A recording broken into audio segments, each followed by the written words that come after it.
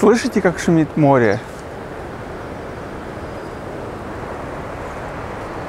Немножко расскажу, как отличить иван-чай. В принципе, иван-чай перепутать с другим растением очень сложно. Смотрите, вот, например, вот само растение, и вот у него такие штучки есть. Если их разломать,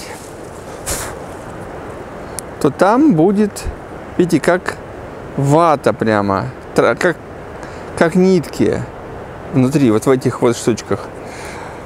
Как его собирать? Некоторые его просто ломают и вот так собирают, и дальше уже очищают листочки. Ну, в принципе, это варварский метод, потому что так, а, если, ну, варварский метод, потому что если просто его вот так вот берешь рукой, одной, одной рукой держишь сверху, а другой вот так вот снимаешь, да? Вот, он еще зацветет, даст семечки и как бы дальше будет расти. А вот сами листья мы собираем. Там их можно уже перебрать, вот эти вот всякие такие вот выкинуть, а нормальные забрать. Теперь немножко расскажу, как его делать иван-чай, как его ферментировать. Дело в том, что если вы просто его высушите, то эффекта у вас будет очень мало, он будет невкусный. Чтобы иван-чай был вкусный, нужно кое-что с ним сделать. В интернете очень много способов. Расскажу вам простой способ, который использовали еще в старые времена.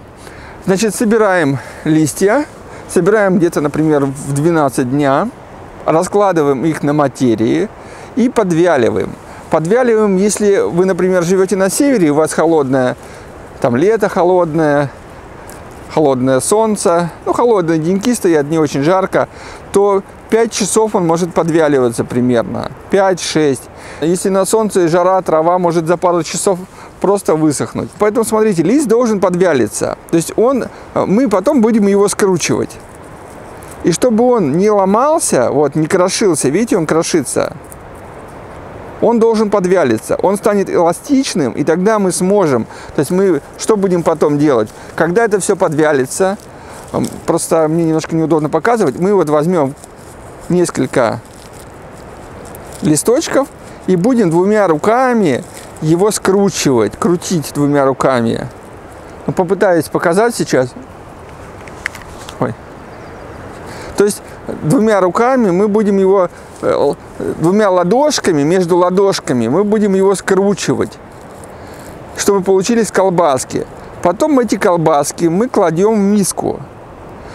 И нужно, чтобы эта миска была полная. То есть, чтобы вот эти вот колбаски лежали до самого верха. Дальше кладем влажную тряпку, не мокрую, а просто влажную, толстую тряпку, и чтобы не было воздуха, чтобы вот эти вот наши колбаски скрученные лежали доверха, и сразу сверху на нем была, сразу сверху лежала тряпка, чтобы не было доступа воздуха. И так это все должно пролежать приблизительно часов 15. Вы почувствуете запах, такой приятный будет идти по квартире. И когда этот запах уже будет сходить на нет, то ферментация уже закончится тогда.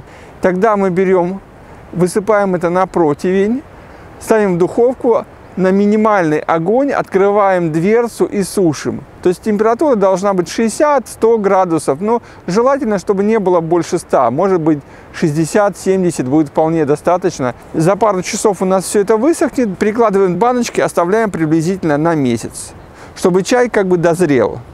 Есть разные способы, крутят мясорубки, способов очень много. Но это наиболее простой способ, который использовали еще в старые времена. То есть раньше, конечно, духовок не было, использовали там печки.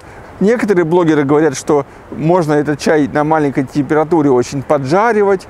Я не знаю, но просто мне кажется, что от поджарки все-таки свойства чая немножко ухудшатся. Я хотел снять ролик, как все это делать, но это достаточно хлопотно. Поэтому, если хотите что-то узнать поподробнее, найдите в интернете, есть много роликов на подобную тему.